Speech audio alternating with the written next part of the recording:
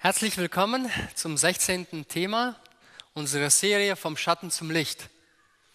Heute wollen wir uns mit der neuen Welt beschäftigen. Deshalb heißt das Thema Zuflucht in die neue Welt. Vielleicht noch mal kurz zur Erinnerung. Dieses Buch hat sieben Teile, sieben Abschnitte. Und ähm, wir haben jetzt den zweiten Teil fertig. Wir haben das zusammen studiert. Und äh, jetzt sind wir so weit, dass wir sagen können, wir gehen jetzt zum dritten Teil über. Das heißt, die Reformation geht weiter. Und heute ist das 16. Kapitel, Zuflucht in der neuen Welt. Vielleicht noch einmal ganz kurz zur Rekapitulation. Wie war das damals in Europa, in dieser Zeit, bevor die Menschen nach Amerika auswanderten? Was ist denn passiert? Es ist so, dass die Reformation auf jeden Fall Erfolg hatte.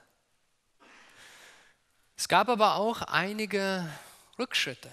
Zum Beispiel war es so, dass die anglikanische Kirche, die Kirche in England, die Reformation zwar angenommen hat, aber viele Lehren Roms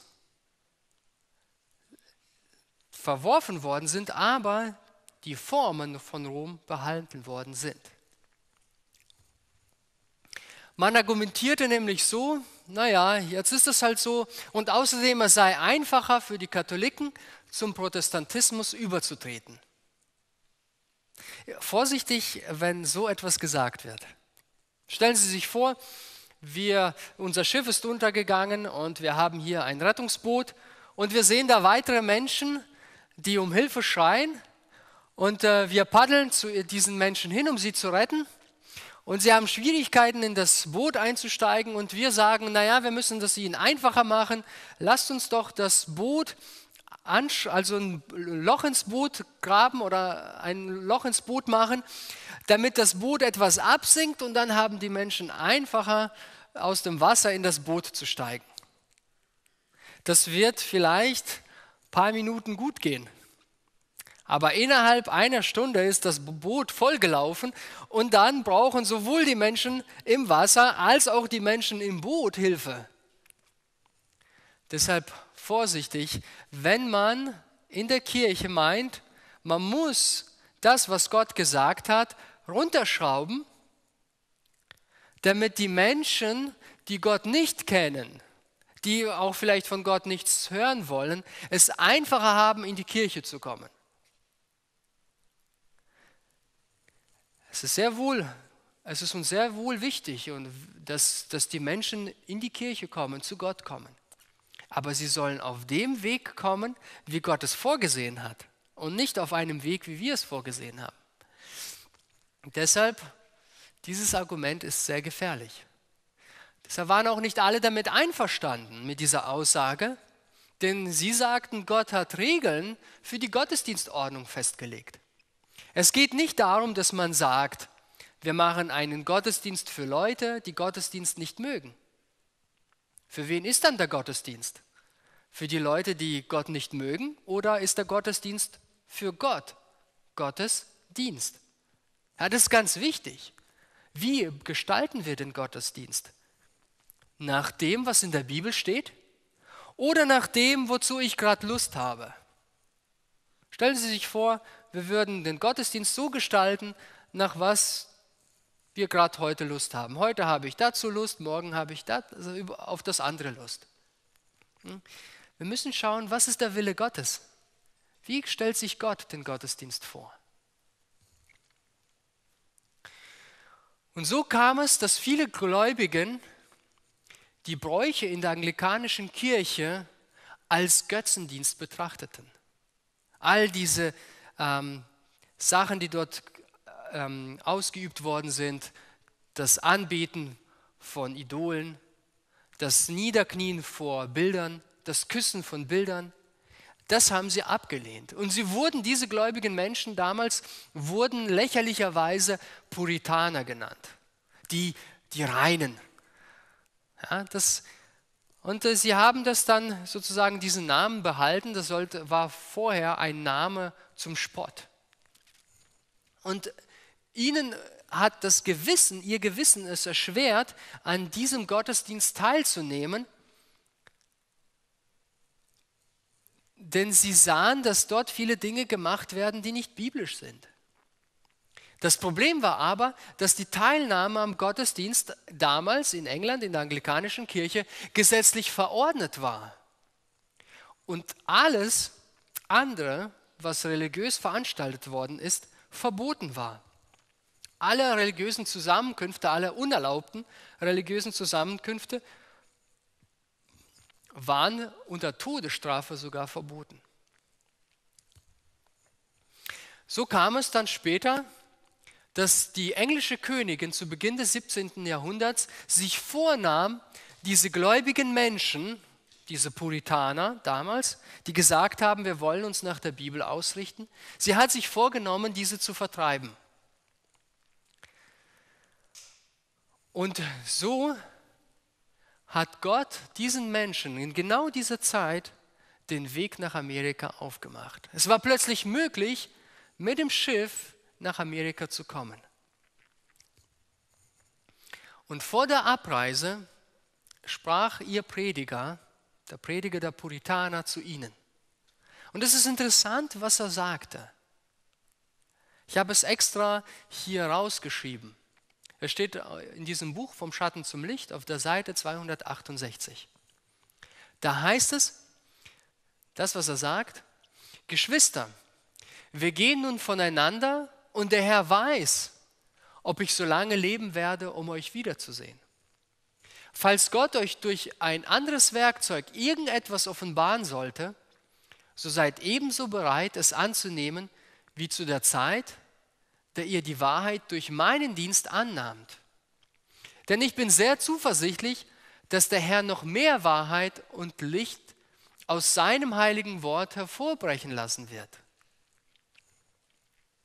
Was mich betrifft, so kann ich den Zustand der reformierten Kirche nicht genug beklagen, die in der Religion bis zu einem gewissen Stufe gelangt sind und nicht weitergehen wollen, als die Werkzeuge ihrer Reformation gegangen sind.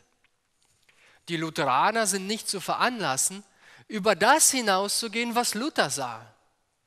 Und die Calvinisten bleiben, wie ihr seht, dastehen, wo sie von jenem großen Gottesmann, der noch nicht alle Dinge sah, zurückgelassen wurde. Dies ist ein sehr beklagenswertes Elend. Denn wenn jene Männer in ihrer Zeit auch brennende und leuchtende Lichter waren, so erkannten sie doch nicht alle Ratschläge Gottes. Lebten sie aber jetzt, würden sie auch bereit sein, weiteres Licht anzunehmen, wie sie damals bereit waren, das erste zu empfangen. Das ist hier etwas sehr Wichtiges, was hier uns dieser Prediger vermittelt. Er hat das Problem sehr wohl erkannt. Die Reformation hat gute Früchte gebracht. Das Problem war aber, dass viele nur so weit bereit waren zu gehen, wie die Reformatoren zuvor gegangen sind. Jesus hat ja selber gesagt, ich habe euch noch viel zu sagen zu seinen Jüngern, aber ihr könnt es jetzt noch nicht ertragen. Auch die Reformatoren konnten nicht das ganze Licht auf einmal empfangen. Gott hat es schrittweise gegeben. Er wollte, dass die Reformation schrittweise vorangeht. Viele Menschen und dadurch auch die Kirchen, die Lutheraner, die Calvinisten und so weiter, wie das hier aufgezählt wird, sind leider bei dem, was Gott ihnen durch den Reformator offenbart hat, stehen geblieben.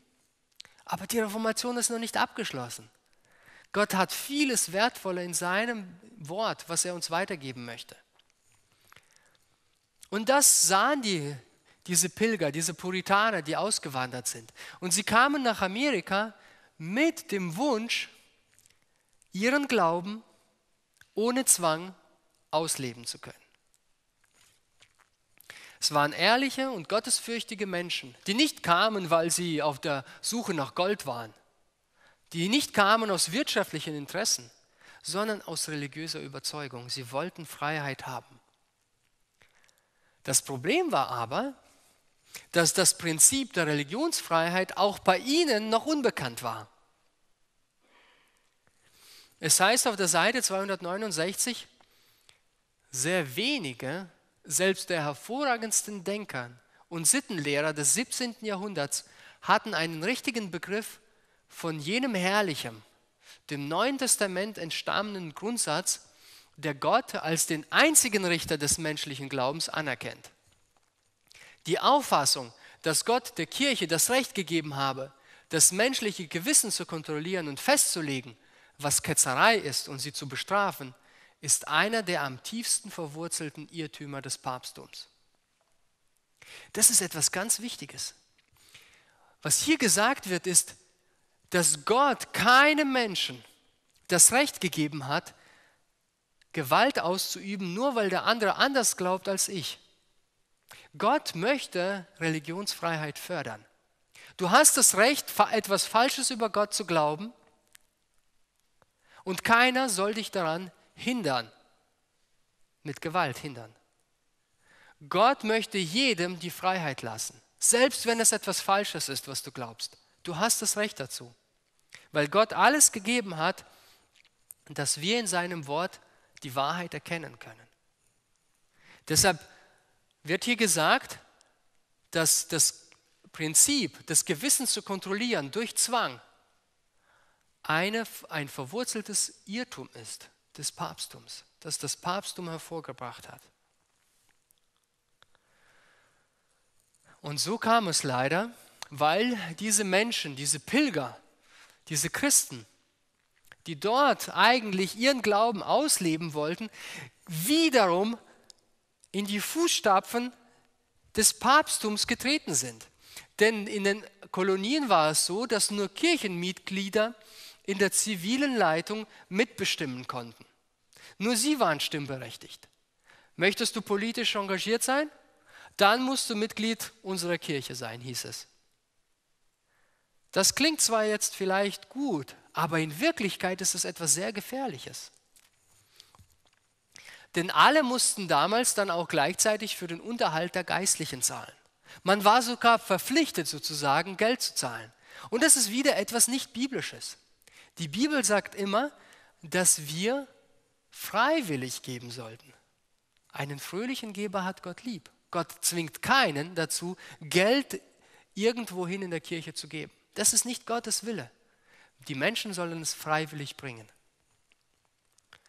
Und gleichzeitig wurde angefangen in der Kolonie, dass die Verwaltung, die Leitung Ketzerei bekämpfen sollte. Das heißt, wenn jemand jetzt plötzlich anders glaubt als wir, wir hier in dieser Kolonie, der wurde dann genauso verfolgt.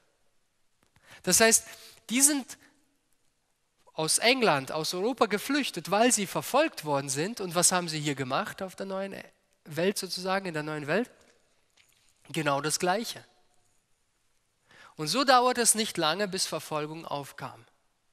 Verfolgung in der neuen, so freien Welt.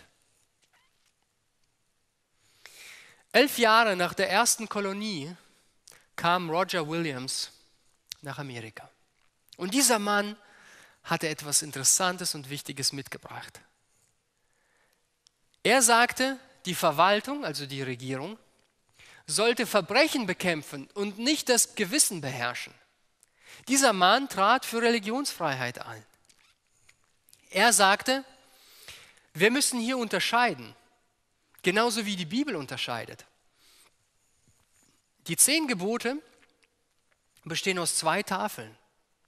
Die ersten vier Gebote regeln das Zusammenleben mit Gott. Wie soll ich Gott anbeten? Du sollst nur einen Gott haben, du sollst dir kein Bildnis machen, du sollst den Namen des Herrn nicht missbrauchen, gedenke des Sabbattags. Das ist etwas, was jeder Gläubige zwischen Gott und sich selbst ausmachen muss. Und da sollte der Staat nicht eingreifen. Aber bei den anderen, bei den anderen Geboten, bei den Geboten 5 bis 10, wo der Umgang zwischen den Menschen gegliedert, geregelt ist, da sollte der Staat auf jeden Fall eingreifen. Wenn die Bibel sagt, du sollst nicht stehlen, muss der Staat dafür sorgen, dass auch wirklich nicht gestohlen wird. Und wenn gestohlen wird, dass hier eine angemessene Strafe und, äh, geschieht und Ersatzleistungen bezahlt werden. Oder in den zehn Geboten heißt es ja auch in der zweiten, auf der zweiten Tafel, du sollst nicht töten. Auch das sollte der Staat regeln, den Umgang zwischen Mensch und Mensch. Und es geht weiter. Du sollst nicht lügen und so weiter. Diese Gebote, die auf der zweiten Tafel beschrieben werden.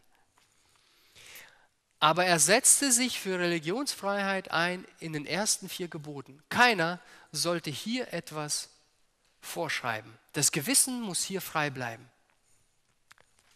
Und wir würden jetzt denken, super, dieser Mann wurde bestimmt mit offenen Armen angenommen. Aber das Gegenteil war der Fall. Er wurde verurteilt und er musste die Kolonie verlassen. Aber um der Verhaftung zu entgehen, flüchtete er mitten im Winter in die Wälder. Und äh, es war bestimmt jetzt kälter, als wir es heute draußen haben. Der Mann war bereit, für das, was er glaubte, einzustehen und in die Wälder zu fliehen, um dort in einem hohlen Baum zu überwintern. Jetzt würde man sagen, ist es nicht einfacher zu sagen, na, wegen dieser Religionsfreiheit, ich passe mich einfach der Gesellschaft an und habe ein schönes warmes Bett, mein Kamin und kann ein ruhiges Leben führen. Ich glaube einfach das, was alle glauben und dann passt das schon, dann habe ich meine Ruhe. Ist es das, was Gott möchte? Ist es was das, was Sie möchten, was ich möchte? Wir sind diesen großen Reformatoren vieles schuldig. Sie sind einen Weg vorgegangen und wir genießen heute die Früchte. Dass Sie heute Religionsfreiheit haben, dass Sie die Bibel haben, dass Sie glauben können, was Sie wollen, wenn es den anderen, dem anderen nicht schadet das hinzuzu, um das hinzuzufügen. Das haben wir den großen Reformatoren zu verdanken und auch dem, äh, diesem Mann, Roger Williams, der dafür, sich dafür eingesetzt hat, dass Kirche und Staat getrennt werden sollten. Etwas ganz Wichtiges, die Trennung von Kirche und Staat. Er wäre wahrscheinlich umgekommen, hätte er nicht einen Stamm von Indianern getroffen, die ihm hier auch geholfen haben. Und während er dort lebte, gewann er ihre Gunst, indem er das Evangelium an sie weitergab. Das heißt auf der Seite 271, nach wechselvollen Monaten der Wanderschaft erreichte er schließlich die Küste der Narragansett-Bucht, wo er das Fundament für den ersten modernen Staat legte, der das Recht auf vollständige Religionsfreiheit anerkannte. Das grundlegende Prinzip der Kolonie von Roger Williams war, dass jeder das Recht hat, Gott nach seinem eigenen Gewissen zu verehren. Sein kleiner Staat Rhode Island wurde zum Zufluchtsort für die Verfolgten. Er wuchs und gedieh und seine Grundprinzipien zur bürgerlichen und religiösen Freiheit sollten schließlich Eckpfeiler in der amerikanischen Republik werden. Das ist das, was sein Engagement das bei, dazu beigetragen haben, dass wir heute Religionsfreiheit haben. Trennung von Kirche und Staat. Und so kam es dann auch, dass am 4. Juli 1776 die Unabhängigkeitserklärung geschrieben worden ist, wo das Recht auf Religionsfreiheit verankert worden ist und die Trennung von Kirche und Staat schriftlich festgesetzt wurde.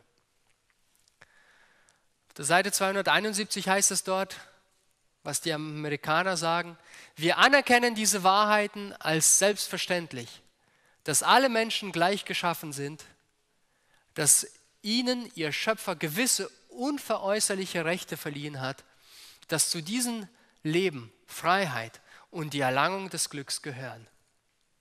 Ausdrücklich und unmissverständlich garantiert die amerikanische Verfassung die Unverletzlichkeit des Gewissens. Keine Religionsprüfung soll je erforderlich sein zur Bekleidung irgendeines öffentlichen Amtes in den Vereinigten Staaten. Der Kongress soll kein Gesetz erlassen, das die Einführung einer Religion bezweckt oder deren freie Ausübung verbietet.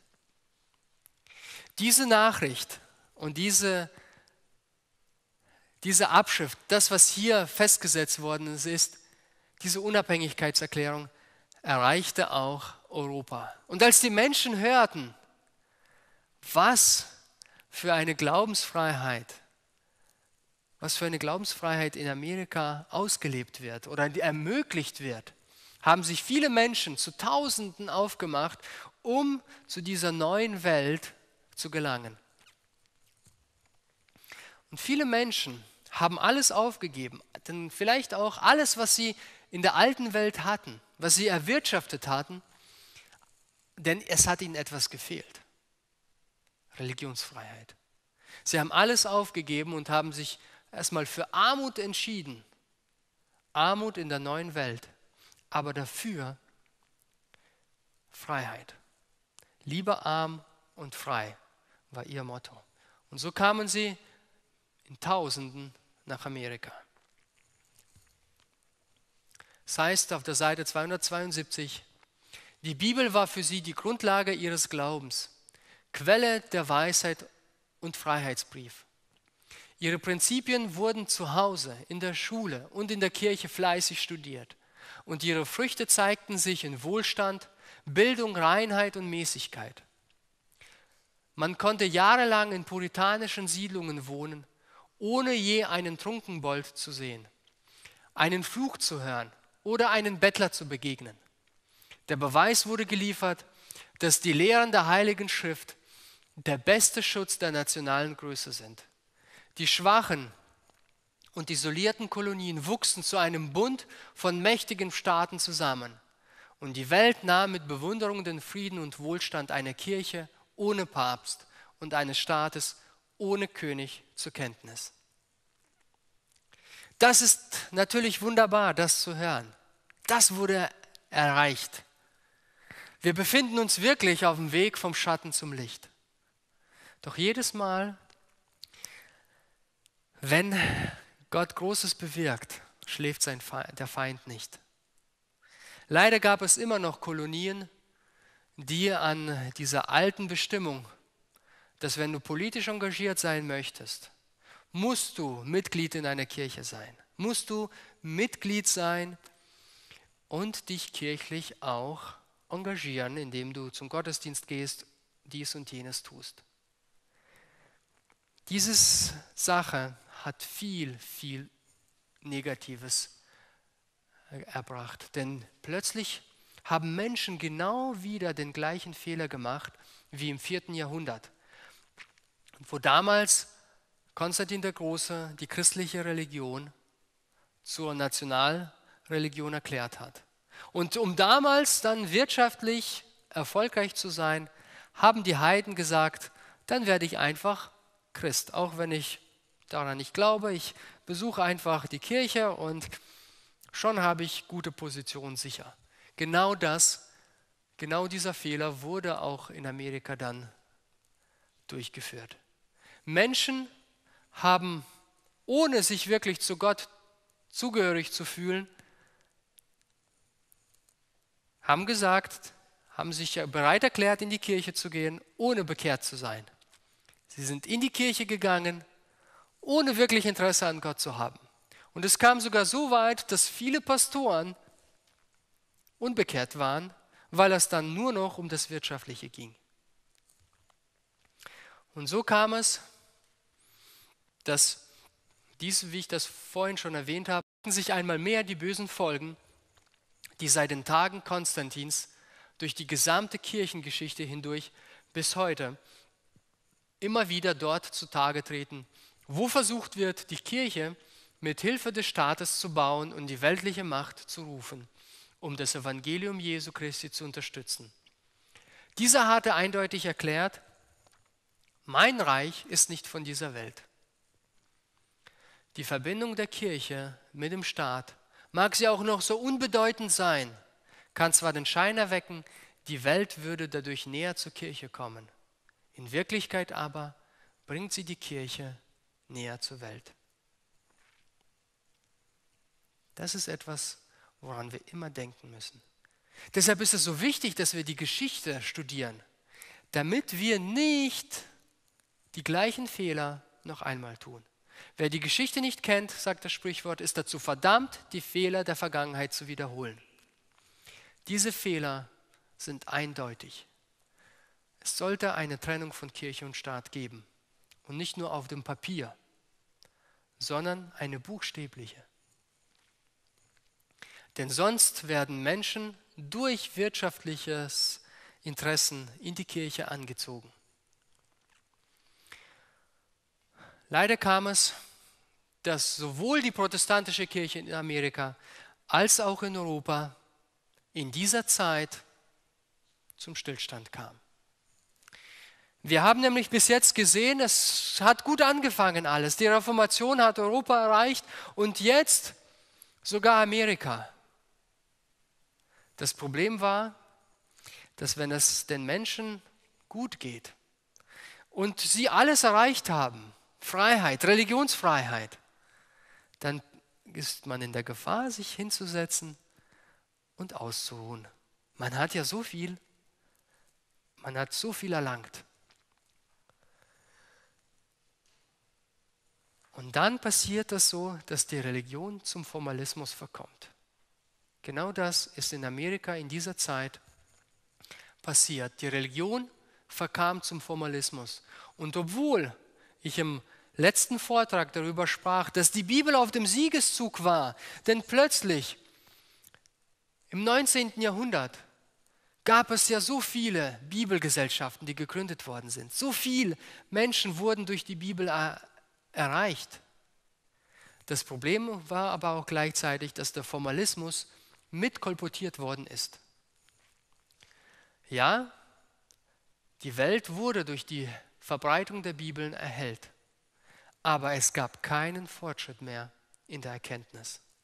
Die Reformation, die so gut begonnen hat in den letzten Jahrhunderten, ist jetzt im 19. Jahrhundert ungefähr langsam zum Stillstand gekommen. Es gab nichts mehr zu entdecken in der Bibel. Man hat sich damit abgefunden, dass man ja schon so viel gefunden hat. Und das ist eine große Traurigkeit, denn Satan verführte die Christen in dieser Zeit, sich mit weltlich gesinnten Menschen zu verbinden. Und obwohl wir auf dem Weg vom Schatten zum Licht sind, sieht es so aus, dass auf diesem Weg manchmal auch der Schatten gewinnt. Und so sieht es aus, dass wir jetzt am Ende dieses Vortrags sagen müssen, wie wird es denn weitergehen? Gibt es jetzt überhaupt noch Hoffnung? Wird es eine weitere Reformation geben?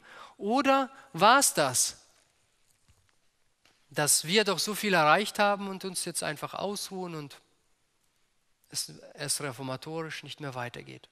So sieht es nämlich aus im 19. Jahrhundert. Wie wird es weitergehen? Was wird Gott tun? Wird der Schatten siegen oder befinden wir uns wirklich auf dem Weg vom Schatten zum Licht? Das sehen wir dann in der nächsten Folge mit dem Thema 17 Zeichen seines Kommens und das Thema 18 William Miller und das Buch Daniel. Wie es weitergehen wird, das nächste Mal. Sie sind recht herzlich dazu eingeladen. Amen. Ich möchte Sie noch einladen, dass wir zusammen beten.